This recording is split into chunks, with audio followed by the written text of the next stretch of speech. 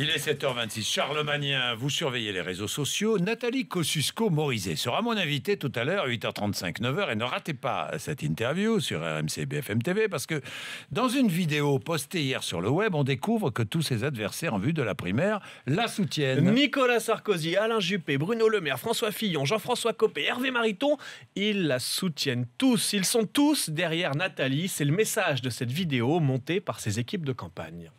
Nathalie Kosciusko-Morizet. Nathalie, par euh, sa stature, son intelligence, par l'énergie, sa créativité, son courage.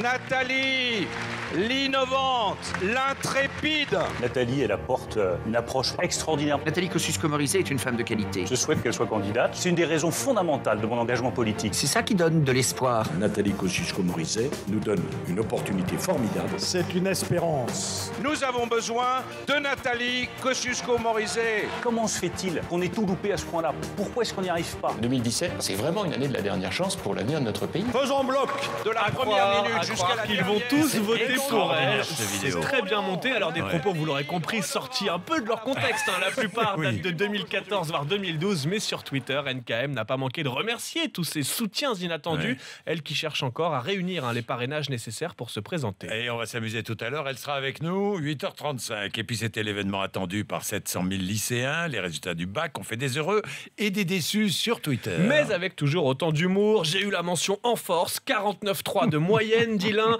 Pour moi, c'était la mention. L'important, c'est de participer, dit un autre hein, qui a raté. Et puis, on a ceux qui ont encore du mal à y croire. 113 heures d'absence cette année, 6 de moyenne, et j'ai mon bac, écrit un lycéen. J'ai eu le bac S alors que je sais à peine faire une division, dit un autre. Et puis, on a ceux qui ne l'ont pas eu du premier coup, mais qui préfèrent positiver. Franchement, le bac, c'est trop facile. Je préfère la difficulté. J'ai décidé de revenir au rattrapage. Et puis, on a aussi quelques rabat-joie. Bravo à ceux qui ont le bac. Il ne vous reste plus que le BTS, la prépa, le master, le permis et tout un monde de précarité. Je rappelle que même les diplômés à bac plus 10 vivent encore chez leurs parents. Et puis, franchement, ce bac, vous en faites un événement. Alors que ce qui compte vraiment en ce moment, c'est le France-Allemagne de demain soir. Car sachez-le, jeunes innocents, jeunes bacheliers, le seul bac qui vous aidera dans les moments de difficulté, c'est le bac à bière du frigo.